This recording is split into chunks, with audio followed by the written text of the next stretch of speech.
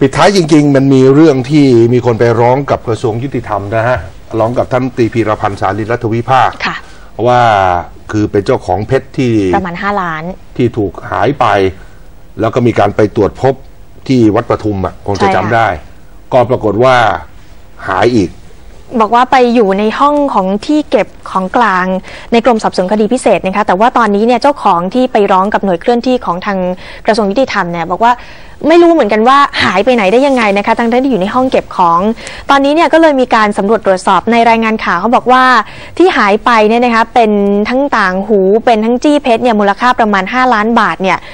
หายไปจากห้องเก็บของกลางของกรมสอบสวนคดีพิเศษ มีกระแสข่าวว่าหลังจากที่ทางสอชเนี่ยนะคะได้ตรวจรับเป็นที่เรียบร้อยแล้วเนี่ยมีบุคคลที่ไม่มีส่วนเกี่ยวข้องเนี่ยเข้าไปดูของกลางก่อนที่จะไปตรวจอีกครั้งเนี่ยของกลางหายไปแล้วนะคะ ท่านผู้ชมคงจะจำได้นะฮะว่าหลังชุมนุมเนี่ย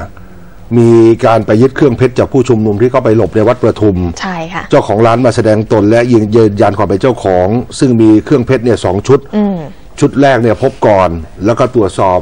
ครบเรียบร้อย เจ้าของยืนยันว่าครบถ้วน ต่อมาไปพบเครื่องเพชรชุดที่สองซึ่งกำลังเป็นปัญหาตอนนี้เนี่ยเจ้าของร้านแจ้งข้อมูลให้ตำรวจและตำรวจทำบันทึกหลักฐาน แล้วก็ส่งให้ทหารรับไปเพื่อเอาไปแถลงที่สอชค่ะ จากนั้นทหารทำบันทึกข้อมูลและส่งมอบของกลางให้ DSI เซ็นรับ วันนั้นเนี่ยเจ้าของบอกว่าได้เห็นทรัพย์สินตนเองแล้ว อันนี้เนี่ยเลขาธิการยุติธรรมเป็นคนแถลงเองเลยนะอืมค่ะ แต่หลังจากนั้นเนี่ยไม่เห็นทรัพย์สินอีกเลย ก็มาร้องทุกข์กับกระทรวงยุติธรรมว่า เอ๊ะ มันมาอยู่กับ DSI แล้ว มันเข้าไปอยู่ในห้องเก็บของกลางแล้ว ค่ะ มันหายไปได้ยังไง ตอนนี้ท่านรัฐมนตรีนะคะพีรพันธ์สารีรัฐวิภาคก็เลย นัดหมายให้ทั้งทหาร ทั้งตำรวจ ทั้งเจ้าหน้าที่ของดีไอแล้วก็เจ้าทุกข์เนี่ยเข้ามาให้ข้อมูลนะคะเพื่อที่จะตรวจสอบเอกสารตั้งแต่การเซ็นรับแล้วเอาไปไว้ที่ไหนอย่างไรครับแล้วก็จะมีการแถลงให้สื่อมวลชนรับทราบวันที่ 27 กรกฎาคมนี้นะคะ